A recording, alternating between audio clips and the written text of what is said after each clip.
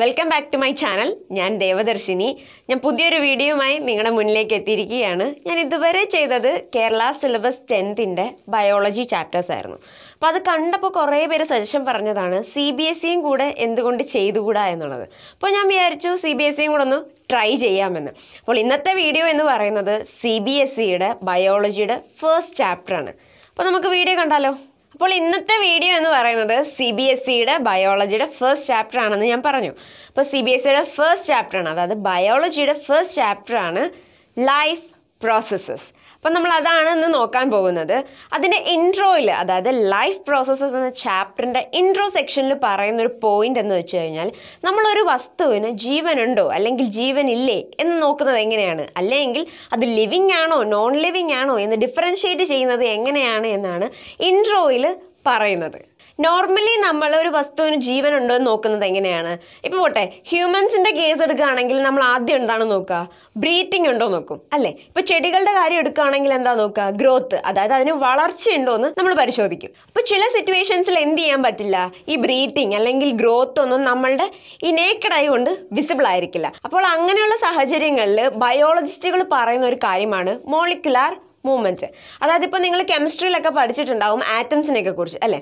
Atoms എന്ന അൺഡിവിസിബിൾ particles ചേർന്നുണ്ടാകുന്നതാണ് molecules എന്ന് പറയുന്നത്. ഇപ്പോൾ നമ്മുടെ ബോഡിയിലുള്ള ഓക്സിജൻ അല്ലെങ്കിൽ അതുപോലെയുള്ള മോളിക്യൂൾസിന്റെ മൂവ്മെന്റ് ലൈഫിന്റെ സിമ്പിളായിട്ട് അല്ലെങ്കിൽ ലൈഫ് ഉണ്ട് എന്ന് സിഗ്നിഫൈ ചെയ്യുന്നതാണ് എന്ത്?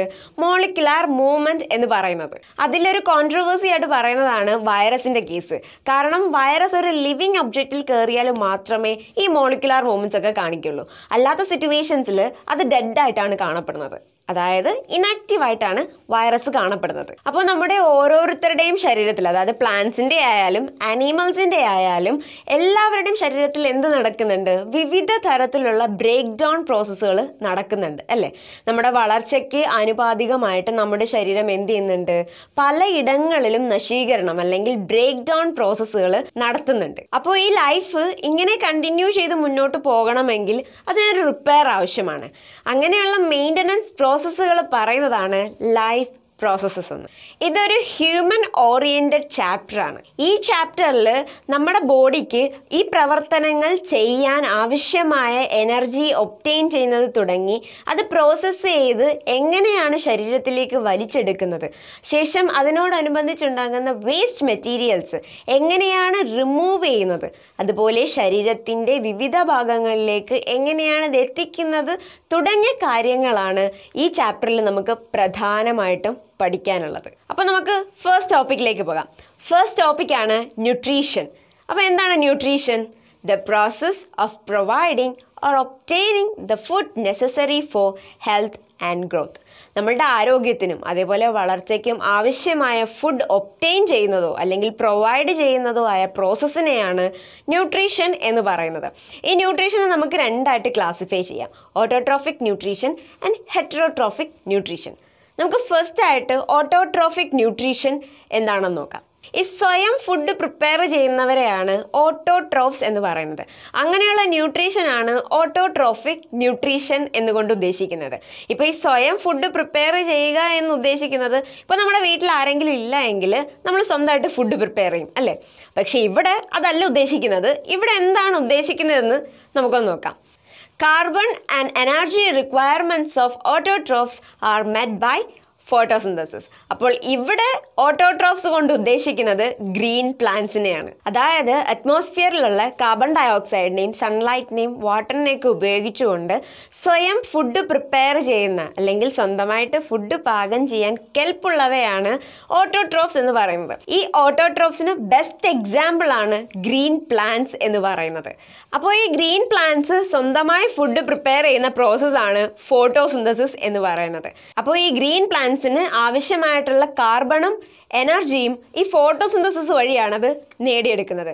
That is the carbon and energy requirements of autotrophs are met by photosynthesis ഇനി ഈ ഫോട്ടോസിന്തസിസിന് ആവശ്യമായ അതായത് അത്യാവശ്യമായ ഒരു നാല് ഘടകങ്ങളുണ്ട്.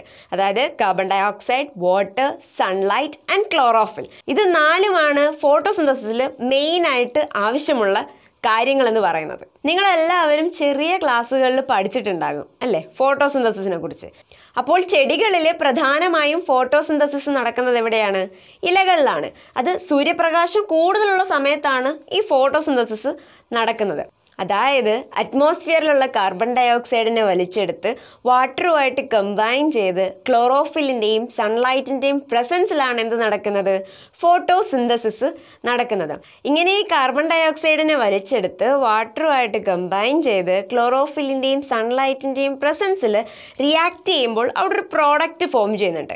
ആ പ്രോഡക്റ്റിന്റെ പേരാണ് ഗ്ലൂക്കോസ് അപ്പോൾ അതിനൊരു ബൈ പ്രോഡക്റ്റ് ഉണ്ടാവുന്നുണ്ട്. അതാണ് ഓക്സിജൻ. ഈ ഫോട്ടോസിന്തസിസിന്റെ സമയത്ത് അറ്റ്മോസ്ഫിയറിലേക്ക് ഓക്സിജൻ ലിബറേറ്റ് ചെയ്യുന്നുണ്ട്. ഈ അറ്റ്മോസ്ഫിയറിലേക്ക് ലിബറേറ്റ് ചെയ്ത ഓക്സിജൻ ആണ് നമ്മൾ ബ്രീത്ത് ചെയ്യുന്നത്. അപ്പോൾ ഈ ഫോട്ടോസിന്തസിസ് പ്രോസസ്സിൽ ഒരു പ്രോഡക്റ്റ് ഉണ്ടായെന്ന് പറഞ്ഞല്ലോ. അതായത് ഗ്ലൂക്കോസ് ഫോം ചെയ്തു എന്ന് പറഞ്ഞു.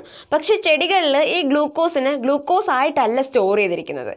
ഈ ഗ്ലൂക്കോസിനെ സ്റ്റാർച്ച് ആയിട്ട് കൺവേർട്ട് ചെയ്തിട്ട് ഈ സ്റ്റാർച്ചിനെയാണ് ചെടികളിൽ കാർബോഹൈഡ്രേറ്റ് ആയിട്ട് സ്റ്റോർ ചെയ്ത് വെച്ചിരിക്കുന്നത്. ഇപ്പോൾ ചെടികളിൽ എനർജി സ്റ്റോർ ചെയ്ത് വെക്കുന്ന ഫോമാണ് സ്റ്റാർച്ച് എന്ന് പറയുന്നത്. ഇപ്പോൾ ഹ്യൂമൻ ബീയിങ്സിന്റെ കേസ് എടുക്കുകയാണെങ്കിൽ ഹ്യൂമൻസിന്റെ ബോഡിയിലും എനർജി സ്റ്റോർ ചെയ്ത് വെച്ചിട്ടുണ്ട്. ആ സ്റ്റോർ ചെയ്ത് വെച്ചിരിക്കുന്ന ഫോമാണ് ഗ്ലൈക്കോജൻ എന്നുള്ളത്. നമ്മുടെ ബോഡിയിലും ഗ്ലൂക്കോസ് തന്നെയാണ് ഫോം ചെയ്യുന്നത്. പക്ഷെ അത് സ്റ്റോർ ചെയ്തിരിക്കുന്നത് എങ്ങനെയാണ്? ഗ്ലൈക്കോജൻ ആയിട്ടാണ്. ഇനി നമുക്ക് ഈ ഫോട്ടോസിന്തസിന്റെ ഇവന്റ്സ് എന്താണെന്ന് നോക്കാം.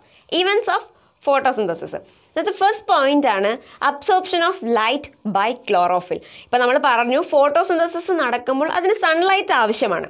അപ്പോൾ ഈ സൺലൈറ്റിനെ അബ്സോർബ് ചെയ്യുന്നത് ആരാണ്? ക്ലോറോഫിലാണ് അപ്പം ക്ലോറോഫിലാണ് ഫോട്ടോസിന്തസിസിന് ആവശ്യമായ ലൈറ്റിനെ അബ്സോർബ് ചെയ്യുന്നത്.